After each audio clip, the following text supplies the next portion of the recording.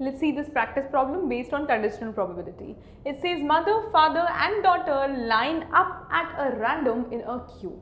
So there are three persons, mother, father and daughter involved in this question and they line up in a queue probably for a family picture, we don't know that. Find P of A upon B for A is equal to daughter on one end, B is equal to father in the middle. So there are two events A and B involved you have been given the definition of A also and definition of B also.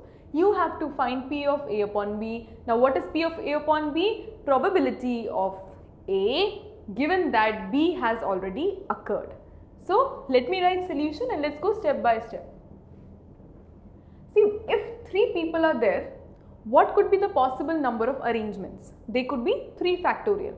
People, uh, if there are 3 could be arranged in 3 factorial ways. These we know from permutations and 3 factorial is 6. If we want to check it, so if a sample space is there, so there can be different events in that sample space.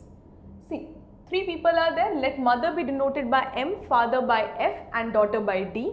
So either they could be MFD or FMD or MDF or DMF.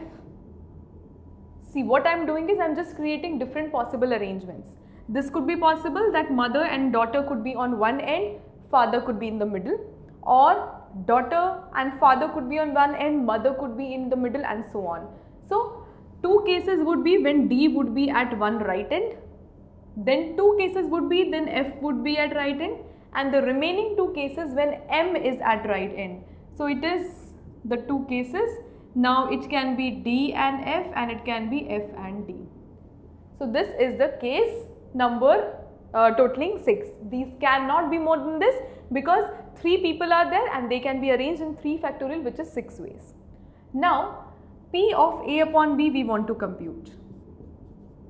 So the total number is 6 and probability of A upon B is actually given by this formula. This you already know. So we are going to see for the intersection in the numerator and for B event in the denominator. Now B event is what? Let's sort out the denominator first. N of B means the number of cases in which the father is in the middle. That is N of B. So father is in the middle in the first case here and this case. No other case is the father in the middle. So, two cases. Clear? Now, next. N of A intersection B means both the things, both A and B should occur simultaneously. Means the daughter should be on one end and the father should also be in the middle.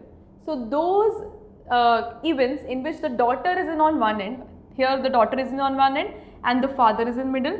This is the first case here daughter is on the one end but father is not in the middle, don't take this. Then this is a case where this is the case where daughter is again on one end and father is in the middle. Because one end does not specifically mean whether right or left, so we can take both.